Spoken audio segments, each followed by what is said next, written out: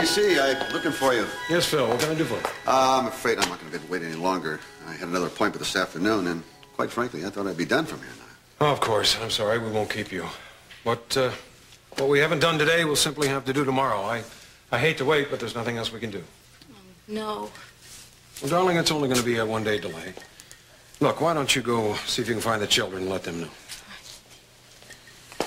Well, should we say next Tuesday at 2 then? That's fine.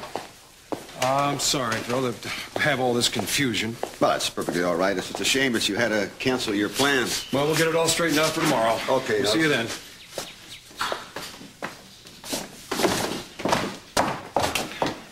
Hey, there you are. I was going to look for you, and Gina was going to look for you, too. Why? What's wrong? But Judge Lawler couldn't wait, and that attorney hasn't shown up yet, so we're going to have to cancel the uh, wedding until tomorrow.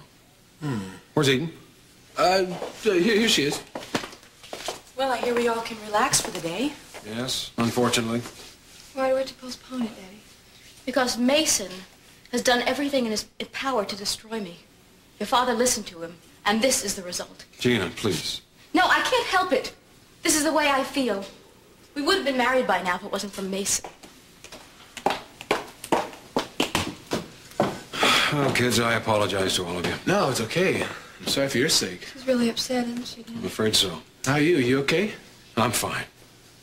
Eden, uh, I'd like to talk to you alone for a minute, if I may. What is it?